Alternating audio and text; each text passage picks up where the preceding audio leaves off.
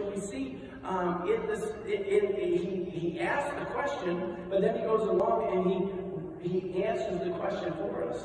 Verse number four says, He that hath clean hands and a pure heart, who hath no, who hath not lifted up his soul unto vanity, nor sworn deceitfully, he shall receive the blessing from the Lord righteousness from the God of his salvation.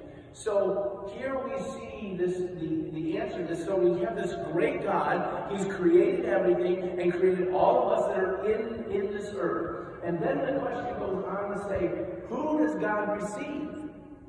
Well, when you look at this portion of scripture, we see that there's some certain things that God does receive. Now, what David again is talking from a standpoint of already being in a relationship with God. We do know that, that David sinned when he committed the sin with Bathsheba and then had her husband sent out to battle and he died. So we know that he sinned. We know that he confessed his sin when the prophet came to him and confronted him with his sin. And so we see that David now is talking about this great God, this holy God, that he's in a relationship with. So who can come into the presence of God? Who can have that relationship with God? Well, let's go backwards a little bit.